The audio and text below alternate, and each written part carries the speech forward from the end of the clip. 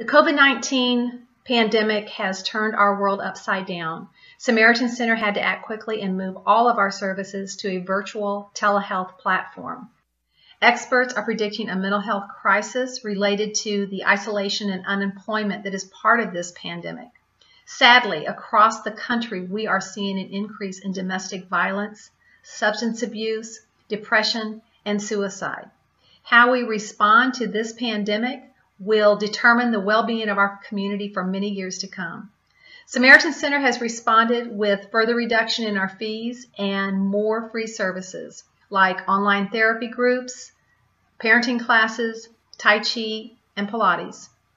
Now it's my pleasure to introduce some wonderful supporters and volunteers at Samaritan Center.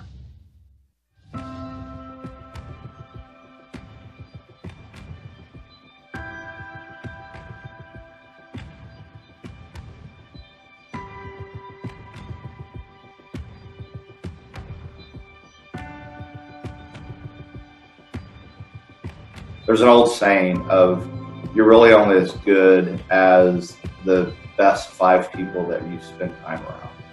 And I think for me personally, just being around the Samaritan Center and the people that work at the Samaritan Center, um, how selfless they are, the compassion that they have for the community, seems to raise everybody around them. And it certainly has been that way for me personally.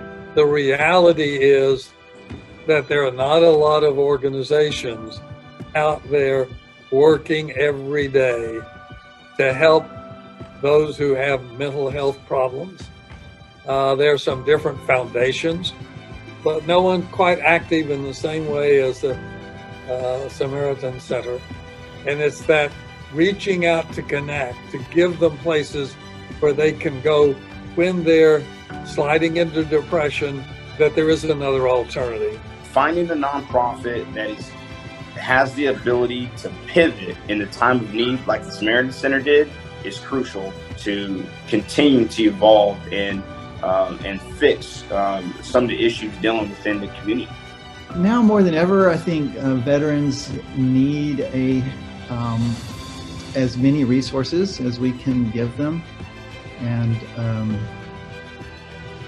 I can't think of a better cause.